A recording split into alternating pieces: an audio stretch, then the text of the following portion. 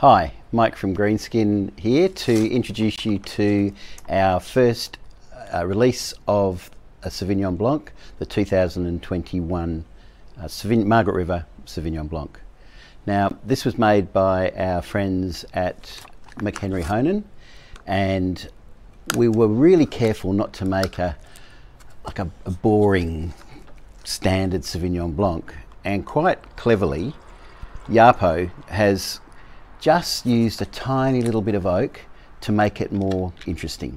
Not a fume style, not the big blousy woody things, just a tiny little oak, little bit of oak to make it um, more than one dimensional. So we're very pleased with it.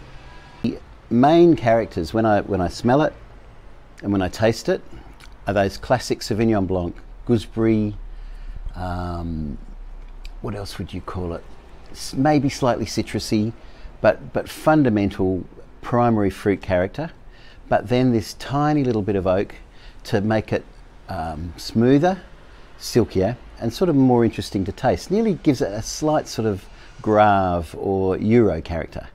It's uh, a lovely wine, beautiful for summer drinking, and uh, quite uh, crunchy, zappy um, fruit characters and finished off with this lovely silky acid finish.